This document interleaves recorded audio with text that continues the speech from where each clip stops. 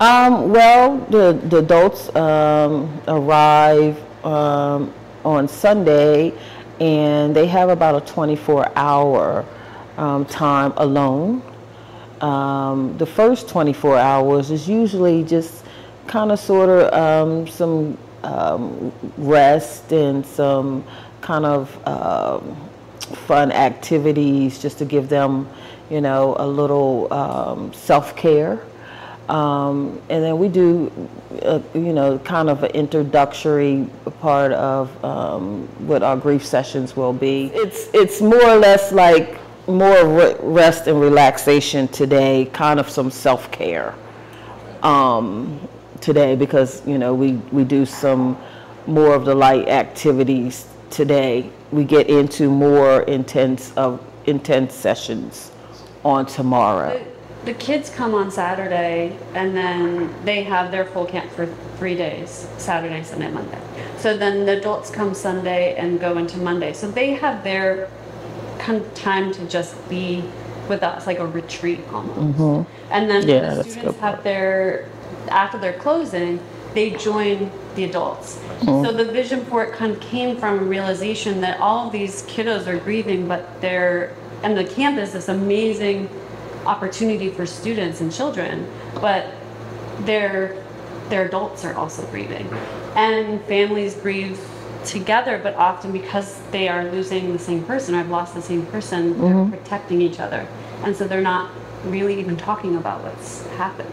A lot of times the adults will give the children what they need, but they don't get what they need. And so this gives them the opportunity to get what they need too. Kids are doing some great work with their grief. However, the, the adults are not addressing it at all.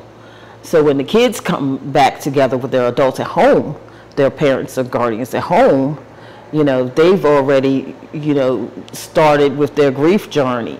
And adults sometimes don't know how to connect or know how to, you know, um, be with their kids in, in, in their journey. So this gives, like, like Penny said, that gives them the opportunity to have some great tools when they go home together because it is actually they're doing survivor of their survivor of their grief and we're doing the same thing so it is kind of some common language that they can hear from what their kids are saying and then we're doing the same thing so when they get home they are on the same page Uh, One of the challenges that we see too when we're working with adults, of course, is that death sort of forces people to tend to all kinds of tasks. Like the business it sounds terrible. It's sort of the business of death, right? You're making sure that your kids are registered for school and they have everything, and you're all now dealing with finances when you may not have been dealing with finances before. All of that. So the the, the load of of tasks, just sheer tasks on adults after a death like that in a family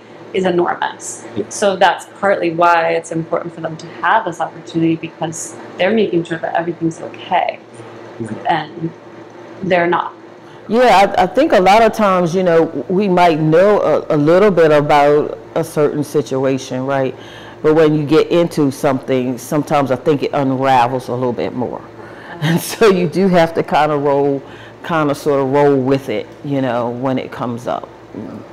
And grief, I mean, losses open doors to other losses. And so we certainly work with that mm-hmm. with students and with adults. And so that mm-hmm. comes out in this space. And so we've had really incredible conversations where people are mm-hmm. processing things that they didn't like initially come to camp for.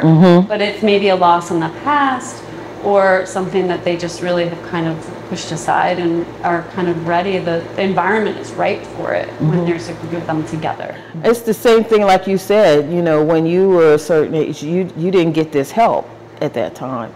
And so some, a lot of people, it's the same thing. They get here, they're here because their kids get here and then they find out about the camp.